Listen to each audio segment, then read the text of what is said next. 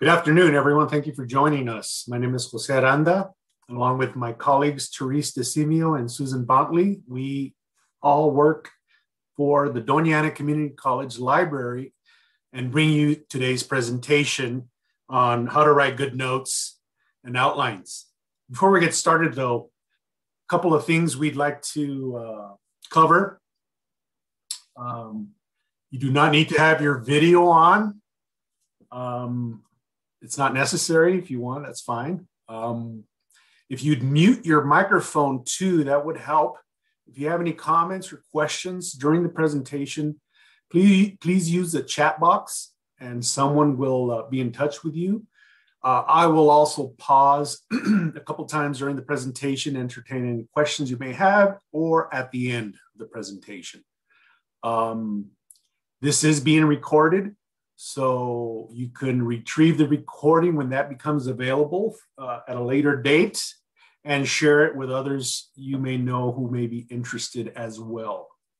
Um, we have on our homepage a link to research guides, and one of them uh, houses all of the online presentations. We have been doing these presentations uh, for the last two semesters, so fall 2020 and last summer. And we're currently obviously working on this semester. So they'll all be neatly organized for you to retrieve. Um, and again, we can provide you that those links um, at the end.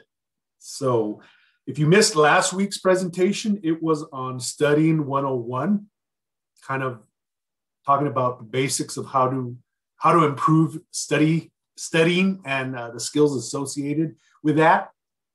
So you may want, if you're interested, you may want to view that. Uh, in addition to these research guides that we post from our library homepage, we also have a YouTube channel.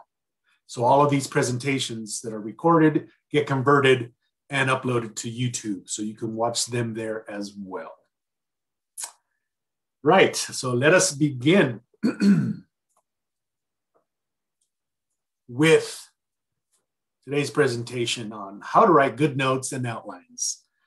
Um, my name is Jose Aranda. As I've said, there's my contact information, email, and phone number um, for your information. Up at the top right of this slide are the phone numbers and email address and website for the library at Doña Ana Community College. Uh, where uh, you will find many links and resources and, and services available to you as well. Um, towards the end, I will briefly talk about a couple of resources, library resources that we subscribe to that we feel um, supplement this presentation and uh, are useful for you. And I'll talk about that when I get to that slide as well. So let us begin. So here's a list of the seven things um, that we feel are important for you to know in improving note taking and outline. First, I'll talk about note taking. um, there are many, there are several and many systems out there um, that will teach you their system, their way of taking notes, and, and they're all great, right? Anything that helps you become a better note taker and that leads you to a better understanding of the material, especially while you're in college, is good and worth exploring. Uh, this presentation is not going to talk about any of those specific styles. This is more in general, more in general how to, as a student, improve your note taking. And uh, so we hope that uh, advice and tips that we provide for you in this presentation uh, will help you just do that. But just know that there, there's a lot more uh, out there that, in books and, and websites, and, and you know you can really take this further, and maybe some um, subjects uh, favor ones than others. So just keep that in mind. So here are the seven that I'll talk to you about individually but in overview, you know, read your assignments before coming to class get organized, give yourself room, think while you write, ask questions, develop a system, and review. Those are the seven important things you should know on how to improve note taking. So the first one is reading, reading before you come to class. Um, you want to do that to prepare yourself. Um, and as far as note taking is concerned, if you have a better understanding of what the day's lecture is going to be about, um, you'll be that much more prepared to take notes and, and engaged in the lecture. Um, I know some students struggle with focusing on writing notes and sometimes it can be a challenge listening to the instructor, the lecture, the video, whatever is being presented.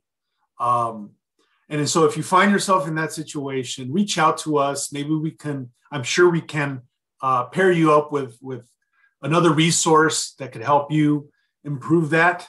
But um, the thing is, is you want to read as much as you can. Most professors in their syllabus tell you each week what you're supposed to be reading. And it's really important to do it before class. Uh, that way you're prepared. And uh, as you uh, listen to the uh, lecture and the professor, uh, you will have some knowledge, right? As you listen and write notes. And that is all part of the engagement that is necessary for you to understand the content. so, reading is very important. Read as much as you can. Um, before class uh, so that we we can enjoy the day's presentation and lecture. Second one is getting organized.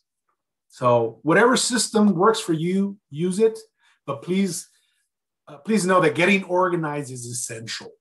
Okay, especially if you're in a class that is content heavy or meaning there's a lot of information, a lot of facts, a lot of details, or you're in a, a, a subject area that, that that's just, you know, you're reading, I don't know, 50, 100 pages a week.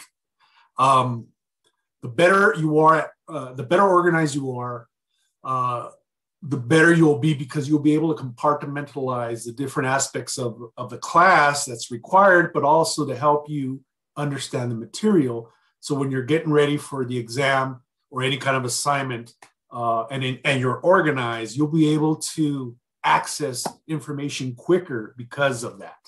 Uh, us, we work in libraries. Um, libraries are organized. We have we have um, a system, probably more than one that organizes our books, and as well as our electronic resources. So uh, we're we're uh, champions and supporters of being organized uh, here are some tips on how to do that. You want to you want to date and, and title your notes for each class. Um, that is one way to keep organized. Um, sometimes a, uh, an instructor will reference a previous lecture or the syllabus will. Uh, it, and if you're organized and if you date your, your notes, you, you know, you'll be able to refer to to, the, to that day's lectures and their notes by doing so. Okay. You find yourself writing many notes, uh, many pages of notes, excuse me, number, uh, number and date your pages. Um, and uh, try to begin each lecture on a new page. Uh, I know some of us like to conserve, but if you're new at this or if you find this a bit challenging, starting a new page can be helpful. Um, find a folder or some kind of uh, organizer where you can keep your notes, right? Um, the last thing you want to do is, is accidentally drop your, your backpack or your folder and, and they all go flying out. So try to find whatever system works for you to keep them organized and safe um, and, and accessible.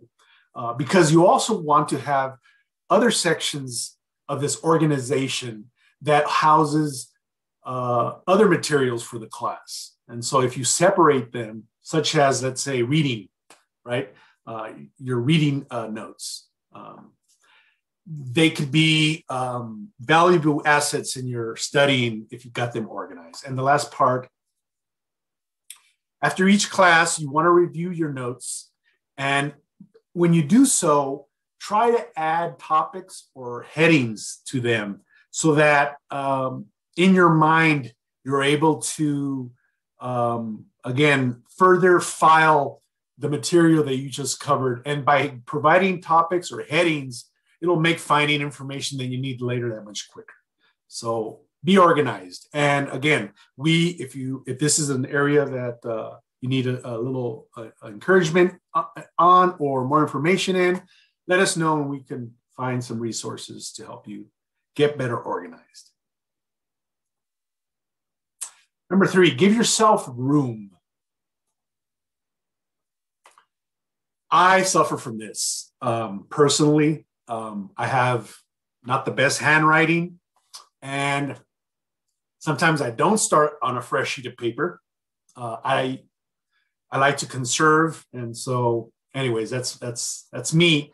But I have uh, many times I'll, I'll start taking notes, and then I run out of room, and then whatever I'm listening to, or whoever I'm listening to, or whatever movie or whatever it is, uh, references an earlier point that I had already written down, and I go back and I want to add something, and there's no room, and so I'm finding myself writing in the margins and, and drawing all kinds of things.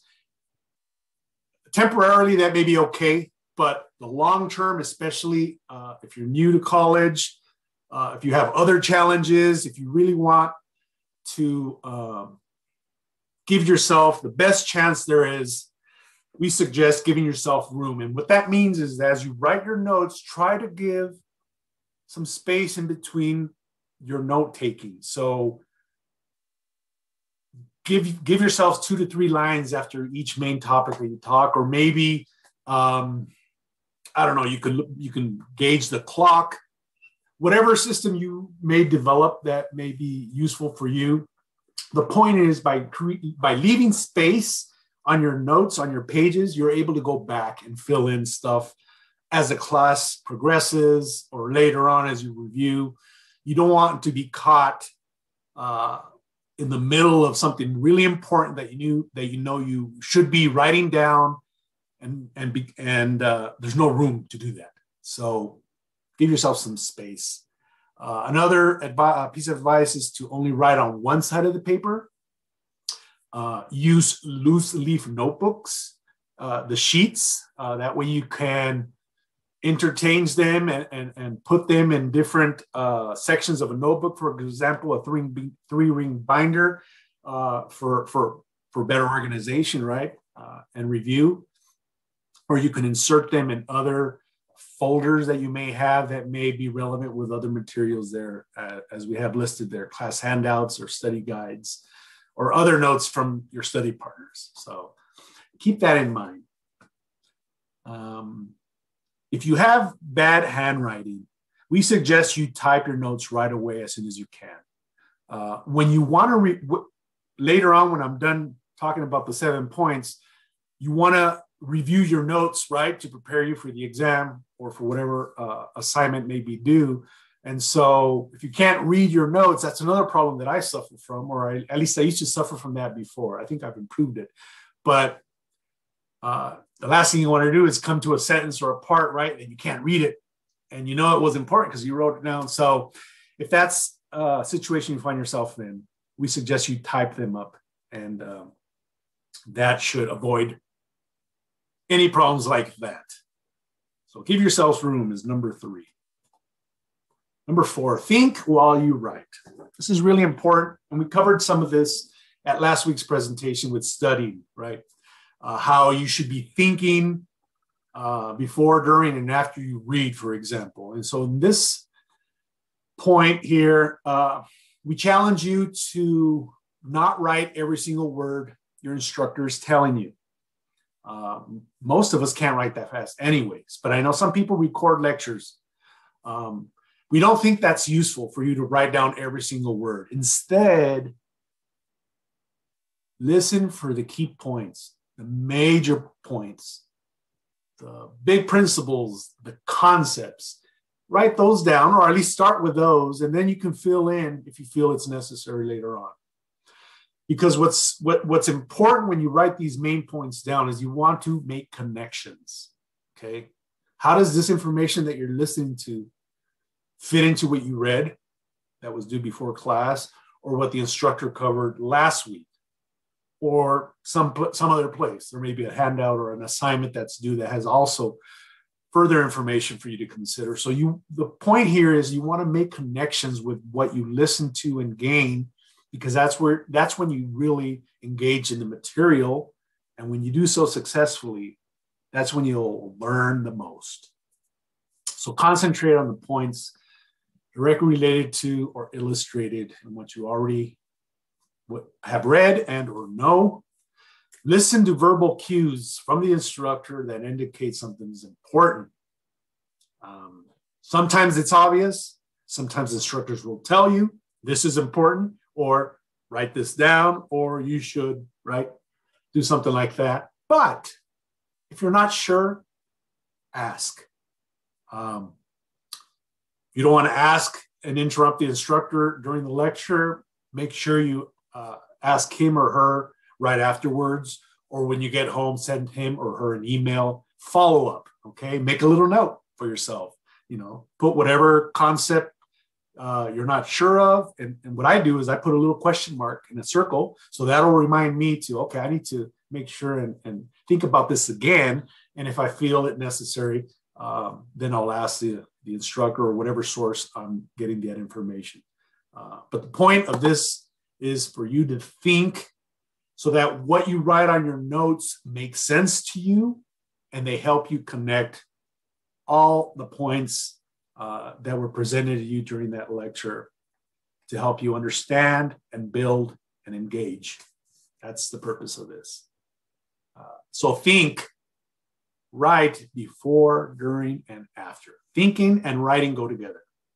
Studies have shown that if you write things down, your subconscious mind has a better chance of remembering it. So that's why we do a lot of that stuff in college. I've already said this, but it's really important. Ask questions.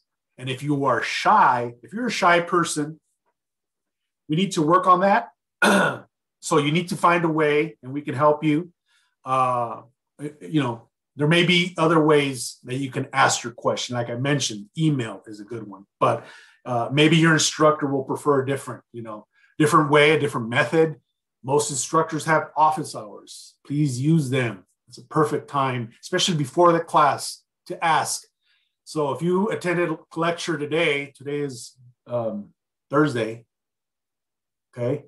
So let's say you attended a lecture today, Thursday, you took notes. You're not going to see the instructor in class uh, until Tuesday. You want to make sure if you have a concern or a question regarding the material that you ask it before the next class. Real important. Uh, do yourselves a favor and, and, and work on if you're shy, uh, asking and and uh, but if you're not shy, by all means, uh, ask away. Uh, instructors enjoy students that ask questions because it shows that they're listening and engaged. And not only that, there may be others in the class that that have the same question as you did, and they're very glad you asked it. So asking questions helps address any kind of gaps you may have in understanding. Remember, I mentioned earlier um, connecting the points. So there may be a gap. There may be one that you had uh, that you weren't clear on. So asking questions help cover those gaps, um, and also they help make these connections, right? That I've been talking about of things you already know, and it's all about building, building this this uh, knowledge in your mind uh, that that then leads you to being well prepared, relaxed, and ready for whatever exam or assignments are coming your way for assessment. Um, one thing about when you're reviewing your notes is if you do write down questions, you know, even if they're just questions for yourselves, let's say not necessarily a question you had for the instructor or you didn't share it with the instructor, but a question you had for yourself that you know, when I wrote that down, I'm going to go refer to chapter five in the reading because I thought I saw something or I read something that talked about XYZ. And I want to make sure that that's the same XYZ that professor was talking about. Okay. So that is a good piece of advice that you too can write these questions in your notes that are just meant for you as well.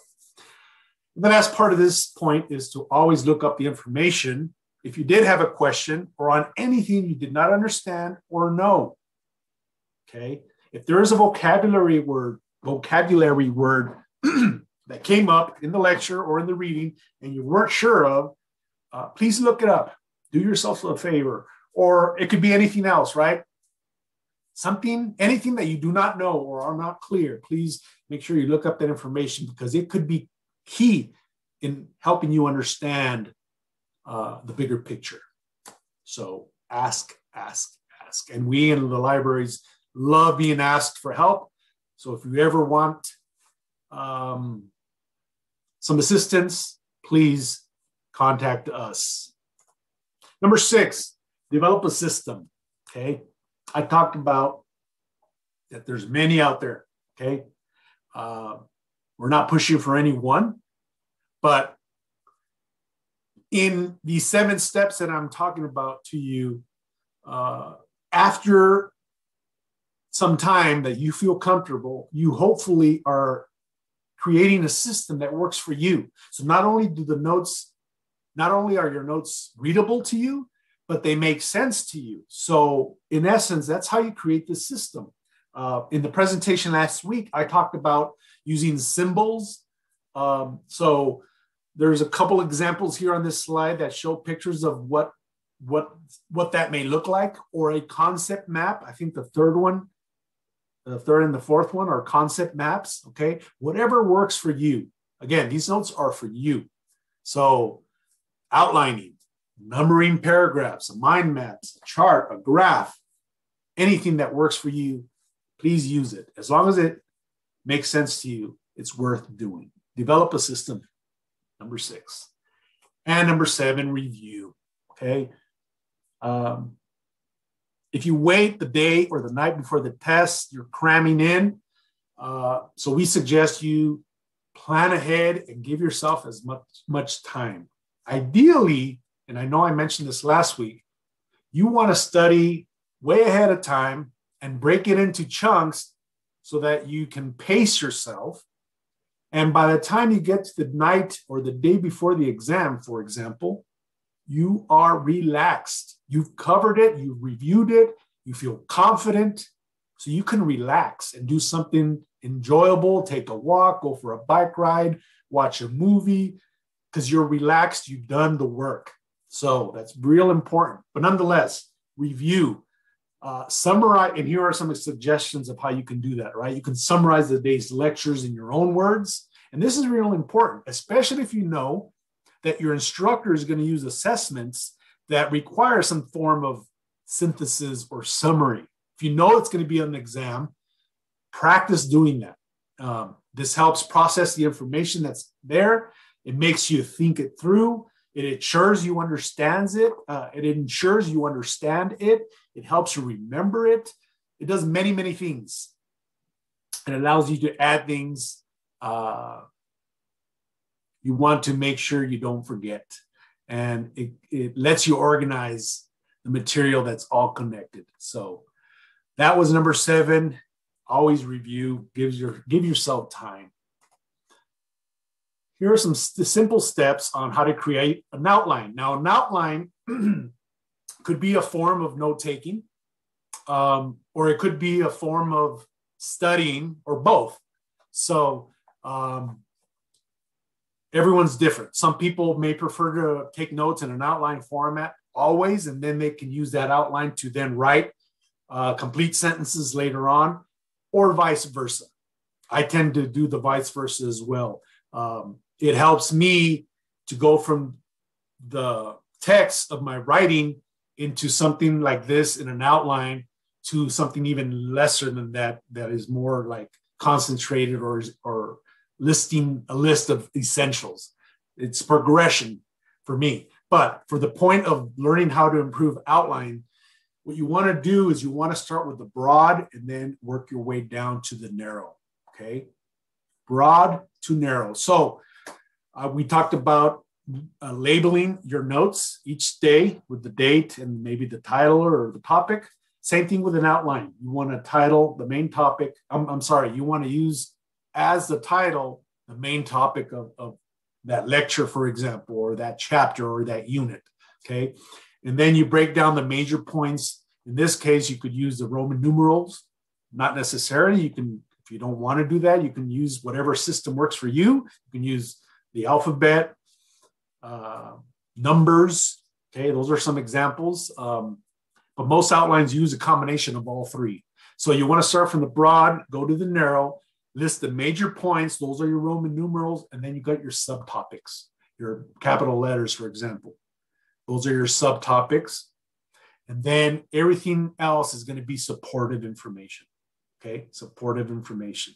So you can actually use an outline to study if you don't obviously have the time to do it during class, but based on your notes, you can then create that outline later. Compare your notes, compare your readings, compare it with others. It can be a useful tool. Uh, and there are uh, some software that provide it for us. You know, Microsoft Word does it. If you did not know, PowerPoint, and there may be others out there. So a lot of the technology offers this ability to be more organized and structured in this sense on creating an outline. If you, if you know you're going to be encountering more than one topic, we suggest start start on a new page. Okay, just like the note taking, you don't want to be sloppy and then not be able to read it later and understand it. So, hopefully, this slide uh, gave you some ideas on how to improve your outline outlining skills. And here's an example, right? um, so I have on the top here the, st- the thesis statement. Now I haven't talked about thesis statements. Uh, we will uh, in April, April 8th, actually. But nonetheless, you may have heard about what a thesis statement is. You may have done a research paper or an essay and your instructor wants a, a thesis statement, usually in the first paragraph. Uh, what that is is a statement of, of where you stand on, on the issue. Uh, you're going to write about it and you're going to support it with evidence, but you need to introduce where you stand in the beginning. So that's in essence what a thesis statement is. So here uh, is an example of an outline, uh, in this case of uh, ecology and, and uh, water. And, and, it's just an example to show you of how what the previous slide was trying to tell you, but in, in, in real terms. And at the bottom right, it's telling you with arrows of what these major points were and what where the subtopics and supportive ideas are. Yours may not look exactly like this, but you should aim for something like this because if you have an outline that is this thorough with detail, you can then, let's say you know you have to write an essay or you know you have to give a presentation. This could help you with that process. Okay. So you know you have to have a thesis statement. You know that goes in the first paragraph.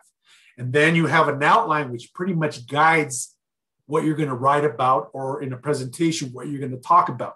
So you follow it.